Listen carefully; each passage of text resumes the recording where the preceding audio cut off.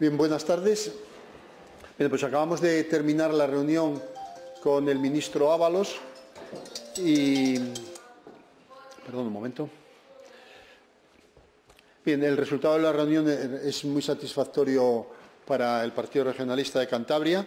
Nosotros desde el primer momento hemos mostrado nuestra disposición para colaborar con la gobernabilidad de España, con la estabilidad de España y siempre también supeditado a nuestros objetivos como Partido Regionalista de Cantabria, que es eh, lo que hemos ido transmitiendo a lo largo de estos últimos meses. Se mm, le ha planteado nuestras reivindicaciones en concreto. Todas son reivindicaciones muy asumibles y responden a compromisos previos que ha ido haciendo, eh, se han ido haciendo por los distintos ministerios y que el ministro ha aceptado perfectamente. Eh, por lo tanto, todas nuestras reivindicaciones se ven cumplidas. En estos momentos estamos a punto de preparar la redacción de un documento que vamos a firmar mañana por la mañana, a las 10 de la mañana, en el cual se van a concretar algunos pormenores de, la reunión de hoy. Pero básicamente les puedo avanzar que eh, este compromiso afecta a nuestro voto favorable para la investidura de Pedro Sánchez y también para la formación de un gobierno de coalición en la comunidad autónoma de Cantabria, cosa que tendrán que negociar allí las dos comisiones negociadoras. Pero esta era una condición previa que habíamos puesto de que el Ministerio admitiera nuestras reivindicaciones y las firmara documentalmente. Eh, hemos venido repitiendo a lo largo del tiempo que la primera de todas es la conexión por ferrocarril desde Madrid a Santander, especialmente los tramos que vienen desde Palencia. Y el objetivo, el objetivo confirmado por el ministro y que había avanzado también en compromisos anteriores es que tengamos un tren que haga el recorrido desde Madrid, Santander, en un tiempo de tres horas para el año 2024. Este itinerario también tiene que servir para el tráfico de mercancías, especialmente para las necesidades del puerto de Santander, lo cual conlleva la construcción de apeaderos, eh, en algún sitio eh, el aprovechamiento de otras vías, en fin, distintos detalles técnicos que no vamos a, poder repetir en estos momentos, pero el objetivo y el compromiso del Gobierno de Cantabria del Gobierno de España con el Gobierno de Cantabria es que para el año 2024 tengamos este tren de altas prestaciones que nos lleve a los viajeros en tres horas de Madrid-Santander, con lo cual será competitivo con el tren y con el avión. Y al mismo tiempo potenciará eh, el puerto de Santander y todo lo que es el desarrollo industrial. En segundo lugar, la conexión de ferrocarril entre Bilbao y Santander.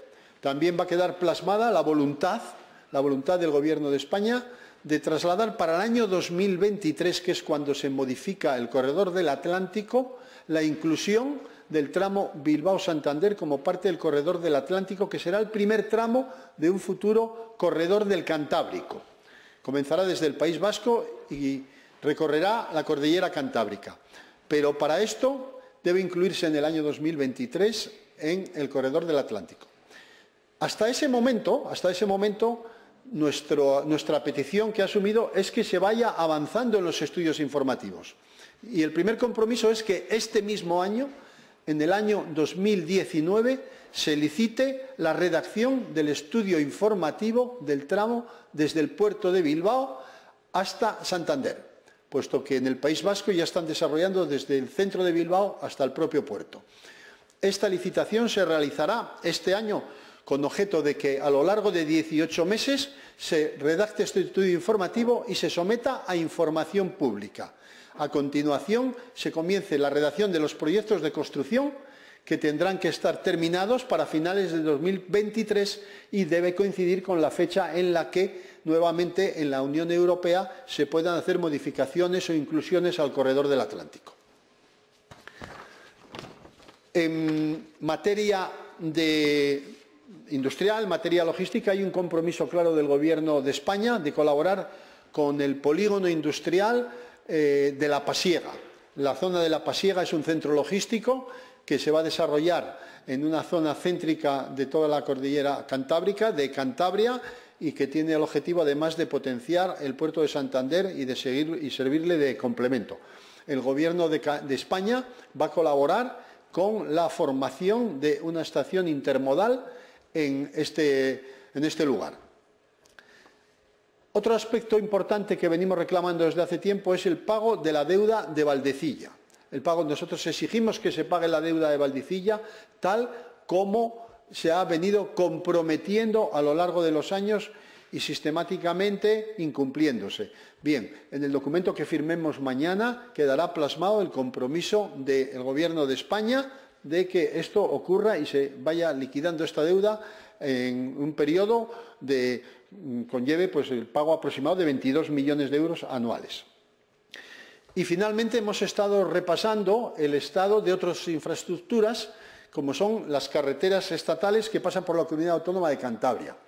Esto hemos hecho hincapié especial en las obras del desfiladero de la Armida, una primera obra que está en estos momentos paralizada y un segundo proyecto que ya está redactado que se licite a corto plazo, eh, que se sigan avanzando y se agilicen todos los trámites del tercer carril entre, de Santander Torrelavega en los tramos de Bezana Polanco y el tercer carril de la carretera a Bilbao, desde Laredo hasta el límite de la provincia de Vizcaya. También esto va a quedar plasmado en el documento y se incluirá también la carretera de los Tornos con la variante de la Nestosa. Finalmente, también incluiremos el puerto de San Glorio. Todas estas carreteras están en marcha y el compromiso del Ministerio es ir agilizando todos los trámites en aquellas que están en fase de proyecto y acelerando las obras aquellas en que ya tengan los proyectos redactados. En resumen, creemos que eh, la reunión ha sido muy fructífera, creemos que es muy favorable, muy positiva para Cantabria y también creemos que es muy positiva para España porque consideramos necesario y fundamental que haya un gobierno duradero. Llevamos muchos años desde el año 2015 en que no acaba de haber estabilidad completa y esperamos que con nuestro apoyo y el, Partido Socialista pues sea capaz de conseguir el acuerdo fundamental para la investidura de Pedro Sánchez.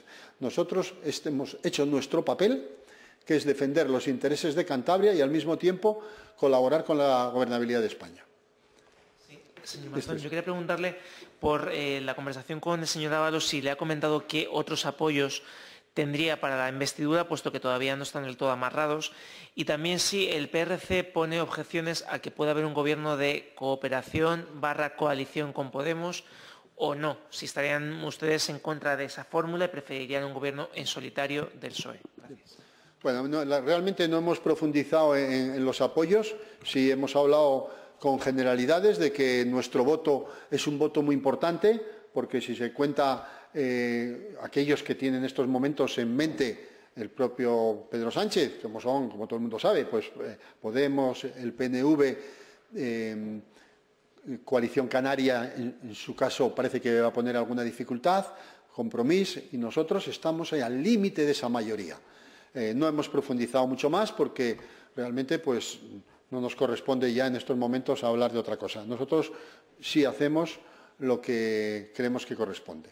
Y luego, con respecto a líneas rojas sobre eso, nosotros no hemos puesto ninguna. Nosotros lo que sí hemos dicho siempre es que somos un, partido que apoya gobiernos progresistas, que estamos de acuerdo con la agenda social y, sin embargo, también somos un partido realista que creemos que la estabilidad económica es importante. Eh, pero no hemos entrado a valorar ninguna situación de otros partidos, sea gobierno de, cooperación o como quieran llamarlo. Si el programa es un programa aceptable y no hay ninguna barbaridad, desde luego se podrá contar con nosotros.